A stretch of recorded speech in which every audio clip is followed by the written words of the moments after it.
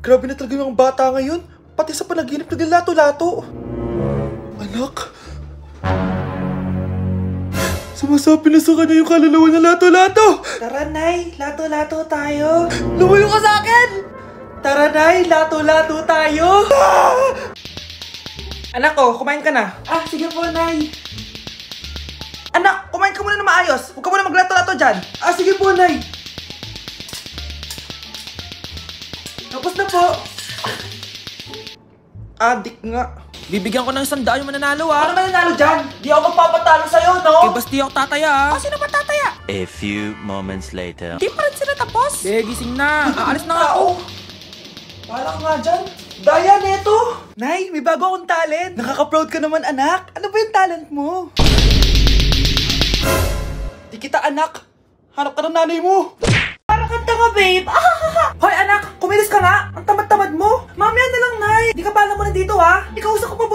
ko. Ayaw mong sumunod sa akin, ha? Meron akong magic remote dito. Pag pinindot ko to, susunod ka sa akin.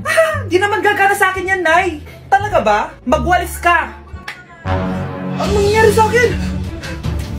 Ano nangyayari? Ah! Deserve! Mag-aaral ka ng maayos. Nay, 99 po yung grade ko sa school. Ang bilis ah. Wala na akong pera eh. Bigyan mo ako ng pera. Pera? Nay, ito po 100,000 para sa'yo. Salamat anak! Ang saya naman gamitin nito. Nay, tama na! Hindi! Manahimik ka dyan! A few moments later. Ang cute! Anak, tignan mo ang cute ng baby, oh! Ah, opo, cute nga. Parang gusto ko na rin ng apo. Napindot! Ah, Nay, ito na po yung apo nyo. Mama!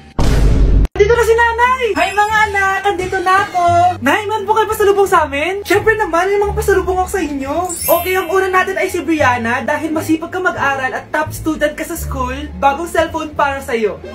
Thank you po, Nay! Promise mas lalo ko pong gagalingan sa school. Oh, eto naman ang para sa'yo. Di ba mahilig ka sa mga damit? Ingatan mo yan, ha? Gusi yan, gusi. Hala, thank you, Nay! Solid! Magagamit ko to sa mga pormahan. Salamat po! At syempre, ang pinaka-paborito kong anak, si Kyle. Laptop para sa'yo, para makapag-games-games ka na. Oh, ito!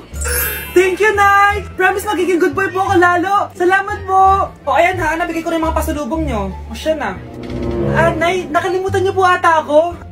Nasaan po yung pasalubong ko? Ay, wala ka pasalubong. Tanda mo na, di mo na kailangan yun. Mag-aral ka nga na mabuti na maiahon mo kami sa kahirapan. Panganay ka pa man din, wala kang silbi. Gusto mo pa ng pasalubong, eh pabigat ka lang naman dito sa bahay. Maglinis ka na nga.